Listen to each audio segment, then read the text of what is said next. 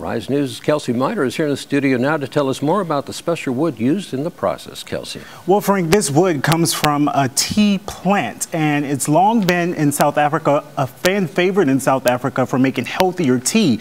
But now wineries are starting to use the wood chips to from the tea plant to make their healthier wines and all of the delicious flavor.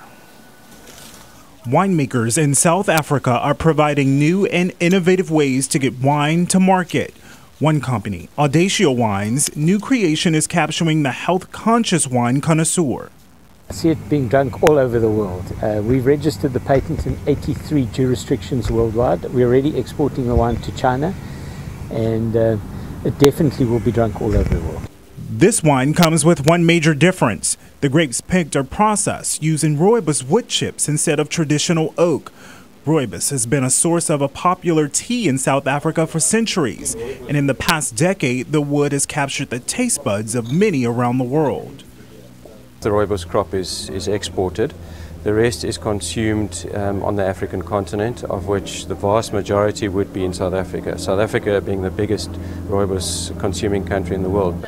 This fairly new way of making wine has been especially good for organic winemakers. For some producers, the antioxidants are extracted from the wood during fermentation. As for the wine made by Audacia, it's not completely free of sulfur dioxide, just significantly reduced. But the economic opportunity created by this wine is just as great. It's going to have definite effects uh, in the global market. There's a huge advantage to the process you know, and that changes the brand. It, it, it gives you a new, a new brand that uh, I think a health conscious world looks at. Now, certainly it's a healthier option, but the bottles still contain alcohol, or it wouldn't be wine. As for economic side of things, the bottle of this wine will run you here in the States about $17, and according to sales figures by the company, people love it, Frank, and as you heard there in the story, is selling out strongly in China, and they're hoping in other parts of the world as well. Can I say I'll drink to that? I will drink to that as well. Okay, thank you, Kelsey, for that report.